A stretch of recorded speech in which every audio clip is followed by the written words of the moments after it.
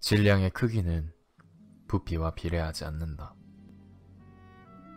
제비꽃같이 조그마한 그 계집애가 꽃잎같이 하늘거리는 그 계집애가 지구보다 더 큰 질량으로 나를 끌어당긴다.